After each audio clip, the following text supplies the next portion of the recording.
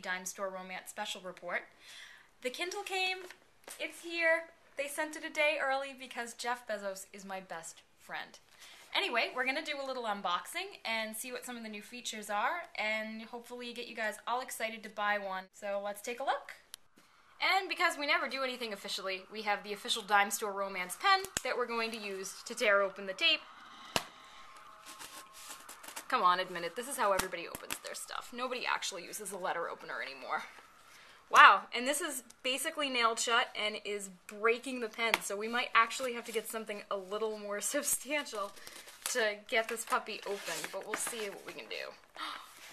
Is it going to come open? No, it is absolutely positively glued shut. They apparently wanted to make sure that it got here in one piece. So hold on just a sec and we will get something else to open it with. Right? So the pen was not working. In fact, the pen is basically dead now. So we're In going case, to use the sword is mightier than the pen. Yes, yes, the butter knife is going to be our sword. So we're gonna see if we can crack this puppy open. We make sure that you're actually seeing this.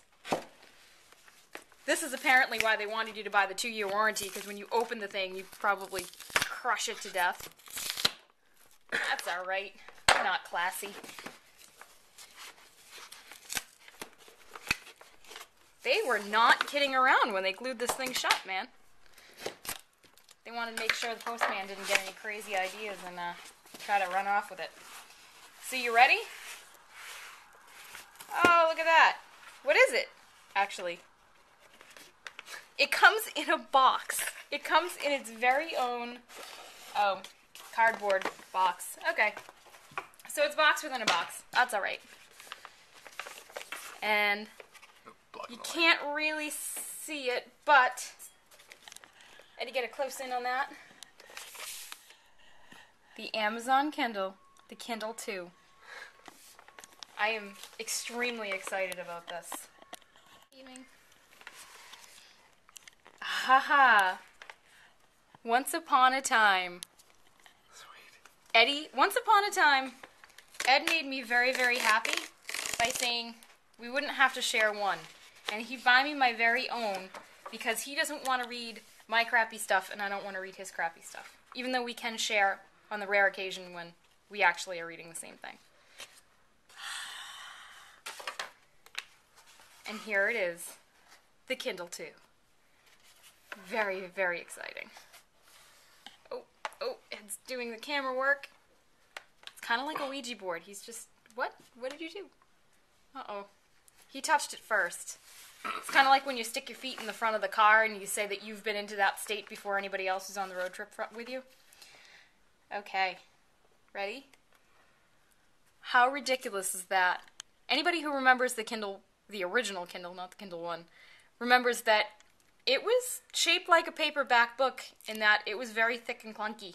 So they've definitely made some improvements, as you know, anybody who's been on Amazon has seen from their pictures.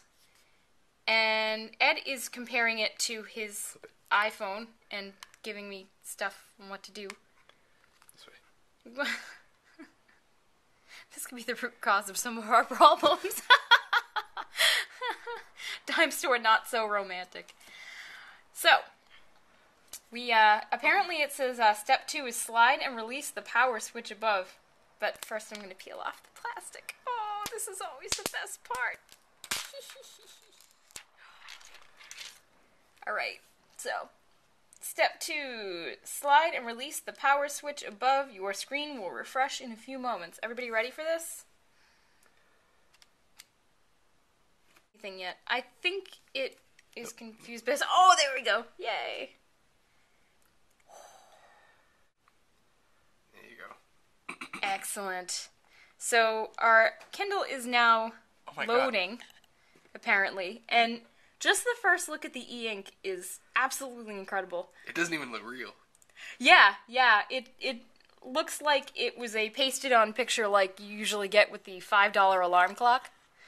Um, and then you peel it off and realize that the actual display is crap. That's how they always get you. Um, a little known fact actually, the company that developed electronic ink is based right here in Massachusetts in Cambridge. Uh, I believe the company's name is actually Electronic Ink.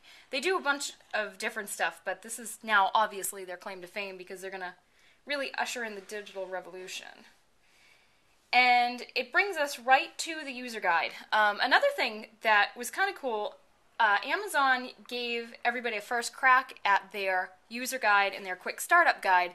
They put it up on Amazon.com and they leaked it to Engadget. So Engadget had the scoop on that. And um, I did a little reading today, but I'm going to be playing with it obviously a little more now that it's actually here and in my hands. And um, we'll be back to you in just a second.